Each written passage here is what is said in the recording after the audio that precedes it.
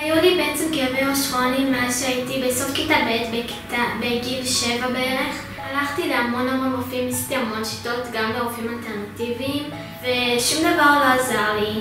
והיו המון פעמים שלא הלכתי באיזה בית ספר, ופעם לא יכולתי לראות ממסכים, ומאוד מאוד הפריע לי כל הדברים.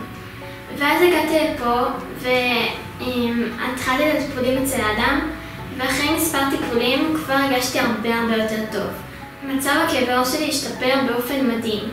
כיום הרבה פעמים אני מרגישה הרבה יותר טוב, פחות כואב לי הראש, אני עושה דברים, או גם כואב לי הראש, אני מוצאת הם, דרכים איך אפשר יותר לאזן את זה. אני יכולה לראות ממסכים כיום כמעט בלי בעיה. במהלך הטיפולים העיניים שלי עובדות יותר טוב, אני... הן עובדות באופן רציף וחלק, מה שזה לא היה פעם. השיווי משקל שלי הוא הרבה יותר טוב, וזהו, ומאז שאני בטיפולים אני מרגישה הרבה יותר טוב והמצב משתפר. זה נתן לי המון המון כלים, גם ללמוד איך להתייחס לכאבי ראש, שזה משנה המון בדרכים.